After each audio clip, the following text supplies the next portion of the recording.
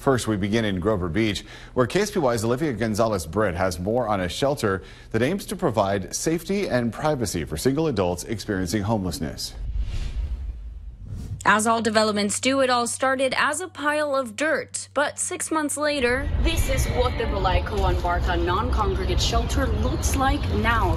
I'm Olivia Gonzalez Britt covering your community in Grover Beach, where now 30 cabins will provide privacy and safety for those experiencing homelessness. A new shelter site for people experiencing homelessness is opening soon in Grover Beach. Balay Coan Barca will offer shelter space and vital services for those in need. Located off 4th Street, this site is the county's second non-congregate shelter following the success of the Cabins for Change program, which opened in December 2022 on 16th Street and Long Branch Avenue. Freedom Morn is one of Cabin for Change's success stories. She experienced homelessness for a year and a half in Arizona before returning to her hometown of Arroyo Grande. I always wanted to come home. So in order for me to do that, I had to lose everything there, even though being on the streets ain't the greatest thing in the world. But it's a eye opener and a lesson of what you truly want. She now has her own place and is celebrating one year at her job. They saved my life.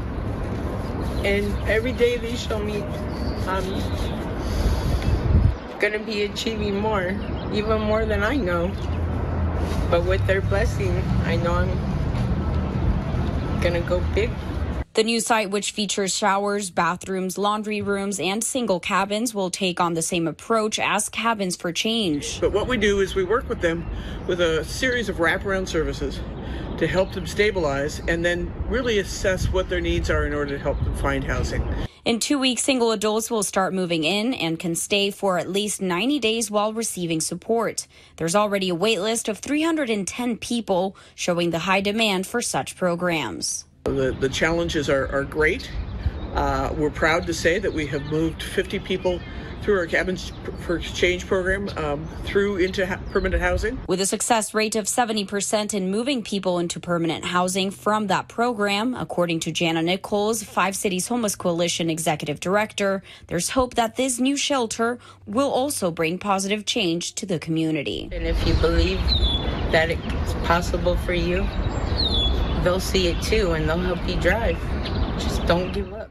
The land purchase for the Five Cities Homeless Coalition by the city of Grover Beach was funded by the American Rescue Act and will be leased for the next 55 years. In Grover Beach, Olivia Gonzalez Britt, KSBY News.